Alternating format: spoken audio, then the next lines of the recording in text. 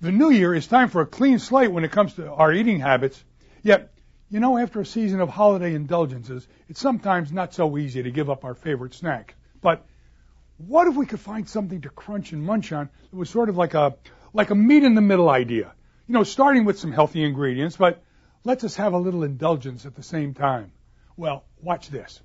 What we do is we we melt about 10 chocolate covered caramel candies in our microwave. Or we can use plain caramel candies if we prefer. Okay, we stir in a couple teaspoons of low fat milk and we mix that mixture till it's nice and smooth. Now we pour that mixture over a package of popped microwavable low fat popcorn and you mix it real well and we spoon the mixture into a baking pan and in the oven we melt 10 large marshmallows over it. And after giving it a mix, what we do is we, we let it cool for a minute and we roll it into balls like this. Okay?